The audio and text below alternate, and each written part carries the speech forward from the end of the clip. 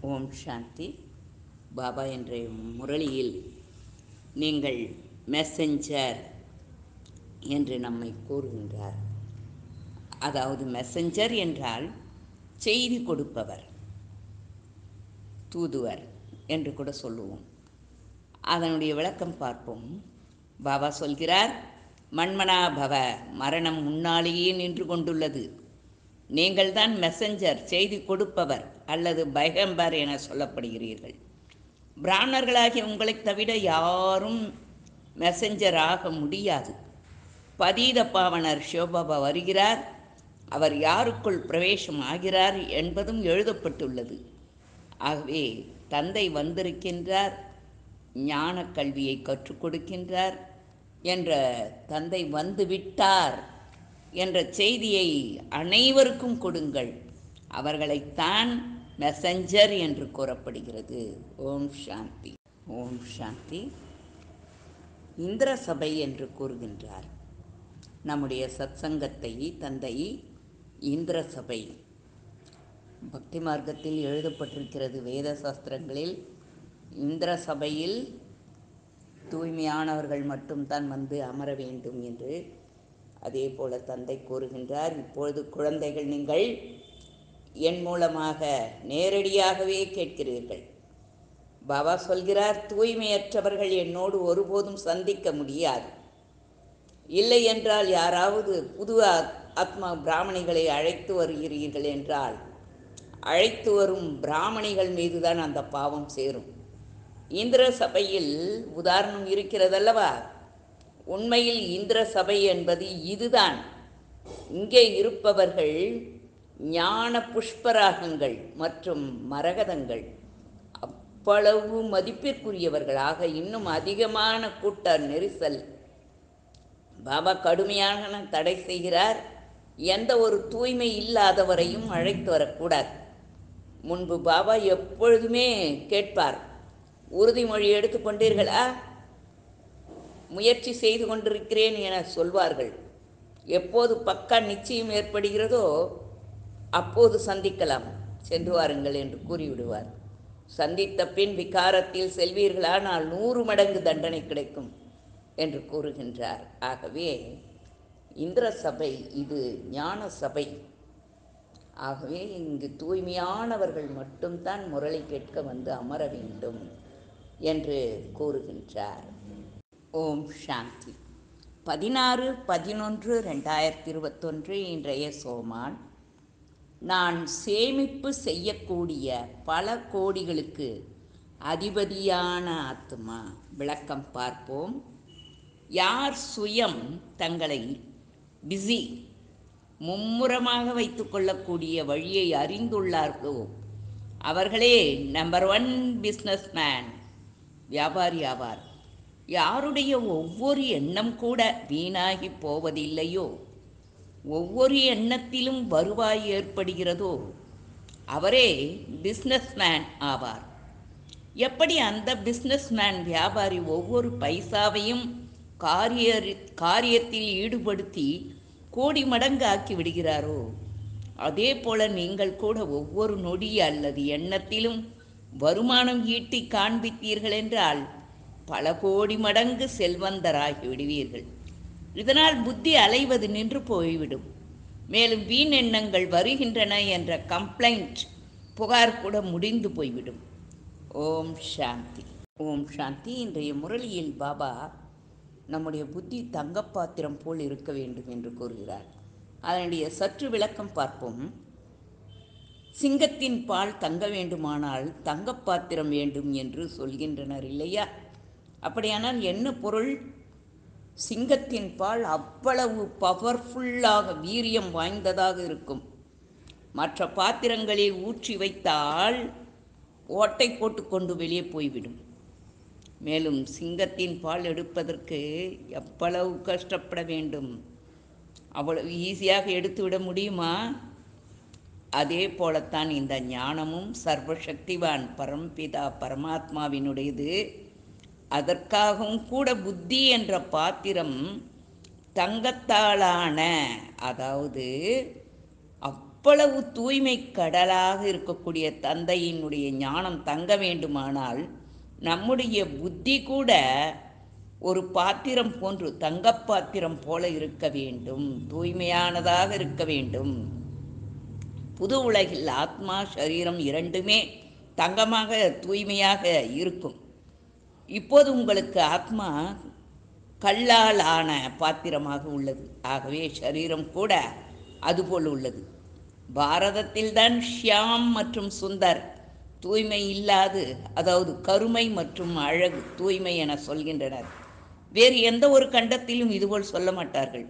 தூய்மை இழந்த எங்களை வந்து தூய்மை ஆக்குங்கள் என்று துக்கத்திலிருந்து விடுவித்து சாந்தியில் அழைத்து செல்லுங்கள் என சொல்கின்றனர். புத்தியும் சொல்கிறது. நாம் பாரதவாசிகள் தூய்மையானவர்களாக இருந்தோம். இப்பொழுது தூய்மையற்றவர்களாக ஆகிவிட்டிருக்கிறோம். ஆகவே புத்தி தங்கப்பாத்திரம் போல் இருக்க வேண்டும். ஓம் சாந்தி. ஓம் சாந்தி. பதினாறு பதினொன்று ரெண்டாயிரத்தி இருபத்தொன்று. முரளியின் சாரம். இனிமையான குழந்தைகளே ஞானம் நிறைந்தவர் ஆவீர்களானால் செல்வந்தராகி விடுவீர்கள். ஜெகதம்பா ஞான ஞானேஸ்வரி அவர்கள்தான் ராஜராஜேஸ்வரி ஆகிறார். கேள்வி பாபாவுக்கு தம்முடைய குழந்தைகள் மீது இரக்கம் வருகின்றது. அதனால் சிரேஷ்டமான அதிர்ஷ்டத்தை அமைத்து கொள்வதற்காக எந்த ஒரு ஸ்ரீமத் தருகிறார்? பதில் இனிமையான குழந்தைகளே தலைமீது பாவங்களின் சுமை உள்ளது. அதை இறப்பதற்கு முன்பாகவே நினைவு யாத்திரையில் இருந்து இறக்கி வைத்து விடுங்கள். எந்த ஒரு விக்கர்மமும் செய்யாதீர்கள். பாபா வந்திருக்கிறார். உங்களை யமனின் தூக்கு கயிற்றிலிருந்து விடுவிப்பதற்காக. அதனால் இப்போது அந்த மாதிரியான எந்த ஒரு கர்மமும் செய்ய வேண்டாம். பாடல் இரவு நேர பயணிகளே களைத்து போகக்கூடாது. ஓம் சாந்தி. இனிமையிலும் இனிமையான ஆன்மீக குழந்தைகள். இந்த பாடலின் பொருளை புரிந்து கொண்டிருக்கிறீர்கள். பாபா வந்திருக்கிறார் பக்தி என்ற இரவை அழித்து பகலை உருவாக்குவதற்காக. ஏனென்றால் பாபாவைத்தான் அழைக்கின்றனர். எங்களை தூய்மையாக்க வாருங்கள் என்று. இப்போது உங்களுக்கு தெரிந்துள்ளது நாம் அதிகமான பக்தி செய்திருக்கிறோம். தான புண்ணியம் முதலியன எவ்வளவு செய்திருக்கிறோம். நீங்கள் எவ்வளவு செய்திருக்கிறீர்களோ அவ்வளவு வேறு யாருமே செய்திருக்க மாட்டார்கள். நீங்கள் அனைவரை காட்டிலும் அதிக பக்தி செய்திருக்கிறீர்கள். இப்போது உங்கள் நினைவு சின்னத்தை உயிரோடு இருந்தவரை பார்த்திருக்கிற பார்க்கிறீர்கள். ஆதிதேவ் மற்றும் ஆதிதேவி ஜெகதம்பா என அவரை அழைக்கிறார்கள். இப்போது நீங்கள் இந்த ஆன்மீக கல்வியை படித்து கொண்டிருக்கிறீர்கள். அவர் ஞான தேவதை அந்த வெளியுலக ஞானத்தினால் யாரும் ஒருபோதும் ராஜாராணி ஆவதே இல்லை. மேலும் தந்தை கூறுகின்றார் சிங்கத்தின் பால் தங்க வேண்டுமானால் தங்கப்பாத்திரம் வேண்டுமல்லவா? அதே போலத்தான் நம்முடைய புத்தி கூட அவ்வளவு தூய்மையாக இருந்தால்தான் ஞானம் தங்கும் என்று தந்தை கூறுகின்றார். இனிமையான குழந்தைகளே நீங்கள் பாபாவிடம் கொடுக்கல் வாங்கல் செய்வதற்காக வந்திருக்கிறீர்கள். ஒன்றுக்கும் உதவாததை கொடுத்து லட்சம் சம்பாதிக்கிறீர்கள். பாபா அவினாஷி சர்ஜனாகவும் உள்ளார். சதா ஆரோக்கியமானவராக ஆவதற்காக யோகம் வழிமுறை கற்றுத்தந்து கொண்டிருக்கிறார். பாபா சொல்கிறார் நான் கேரண்டி தருகிறேன். இருபத்தோரு பிறவிகளுக்கு நீங்கள் சதா ஆரோக்கியமானவராக ஆவீர்கள். ஆக ஆக அப்படிப்பட்ட என்னை நினைவு செய்யுங்கள். சொல்கின்றனர் இல்லையா? நினைத்து நினைத்து சுகம் பெறுங்கள். ஆகவே உடலை பற்றிய பயம் வேதனை அனைத்தும் தானாகவே நீங்கிவிடும். பக்தி மார்க்கத்தில் வேதனை துயரம் எதுவும் நீங்குவதில்லை. அநேக சந்நியாசிகளும் கூட நோய் நொடியில் விழுந்து விடுகின்றனர் பைத்தியம் பிடித்து விடுகின்றனர். ஆகவே பாபா உங்களுக்கு ஸ்ரீமத் கொடுத்து சொர்க்கத்தின் எஜமானராக்குகிறார். நீங்கள் பிறகு ஏன் ஸ்ரீமத் படி நடப்பதில்லை? என்று தந்தை கேட்கின்றார். குழந்தைகளே இது கடைசி பிறவி அவசியம் தூய்மையாகுங்கள். இப்போது குழந்தைகள் நீங்கள் நேரடியாகவே கேட்கிறீர்கள். பாபா சொல்கிறார் தூய்மையற்றவர்கள் என்னோடு ஒருபோதும் சந்திக்க முடியாது. ஆகவே இப்பொழுது பயம் இருக்க வேண்டும். நாம் பாபாவை நினைவு செய்து பாவங்களின் சுமையை போக்க வேண்டும். வரதானம் number one business man busy man முதல் நம்பர் வியாபாரி ஆகி ஒவ்வொரு நொடி அல்லது எண்ணத்திலும் வருமானத்தை சேமிப்பு செய்யக்கூடிய பல மோ- கோடி மடங்கு செல்வந்தர் ஆவீர்களாக ஸ்லோகன். யார் வேண்டக்கூடியவராக அதாவது யாசிப்பவராக இருக்கிறார்களோ அவர்கள் மகிழ்ச்சியில் நிறைந்தவராக இருக்க முடியாது. ஓம் சாந்தி. ஓம் சாந்தி. பதினாறு பதினொன்று ரெண்டாயிரத்தி இருபத்தி ஒன்று அவ்வக்த சமிச்சை என்னவென்று பார்ப்போம். சாதனைகளின் ஆதாரத்தில் சாதனங்களை காரியத்தில் ஈடுபடுத்துங்கள். அழியக்கூடிய சாதனங்களின் ஆதாரத்தினால் உங்களுடைய அழியாத சாதனை நிகழ முடியாது. சாதனங்கள் நிமித்தமாக மட்டுமே இருக்கின்றன. ஆனால் சாதனை என்பது புதிய உலகை படைப்பதற்கு ஆதாரமாக இருக்கின்றது. எனவே தற்போது சாதனைக்கு மகத்துவம் கொடுங்கள். சாதனை தான் வெற்றியை அடைய வைக்கும். அவைகளெல்லாம் சாதனங்கள். ஓம் சாந்தி. ஓம் சாந்தி. பதினாறு பதினொன்று ரெண்டாயிரத்தி இருபத்தி ஒன்று சாகார முரளி ஞான சிந்தனை. யார் யாசிப்பவராக இருக்கிறார்களோ அவர்கள் மகிழ்ச்சியில் நிறைந்தவராக இருக்க முடியாது. பாபா சொல்கிறார் என்னால் தூய்மையாக இருக்க முடிவதில்லை நினைவில் இருக்க முடிவதில்லை என்று சொல்லாதீர்கள். நினைவு செய்யவில்லை என்றால் விக்கர்மங்கள் எப்படி விநாசமாகும்? நீங்கள் தமோ பிரதானத்தில் இருந்து சதோ பிரதானமாக அவசியம் ஆக வேண்டும். பாபா வந்திருக்கிறார் பக்தி என்ற இரவை அழித்து பகலை உருவாக்குவதற்காக. ஞானம் என்பது வருமானத்திற்கு ஆதாரம். பாபாவிடம் ஒன்றுக்கும் உதவாததை கொடுத்து லட்சம் சம்பாதிக்கிறீர்கள். ஸ்ரீமத் படி ஏன் நடக்கக்கூடாது? தந்தையின் அறிவுரையை ஏற்றுக்கொள்ளுங்கள். என்னை நினைவு செய்யுங்கள் சொல்கிறார். சொல்கின்றனர் இல்லையா? நினைத்து நினைத்து சுகம் பெறுங்கள்.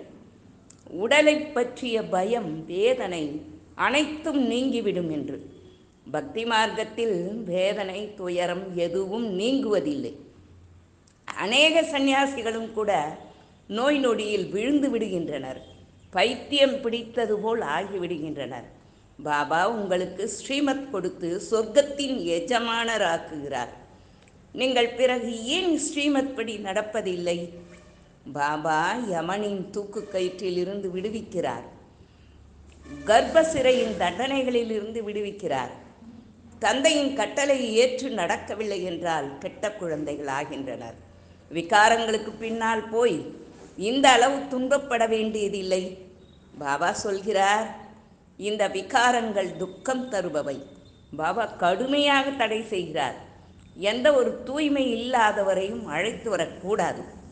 பாபா எப்போதுமே கேட்பார் உறுதிமொழி எடுத்துக்கொண்டீர்களா முயற்சி செய்து கொண்டிருக்கிறேன் என சொல்வார்கள். எப்போது பக்கா நிச்சயம் ஏற்படுகிறதோ அப்போது சந்திக்கலாம்.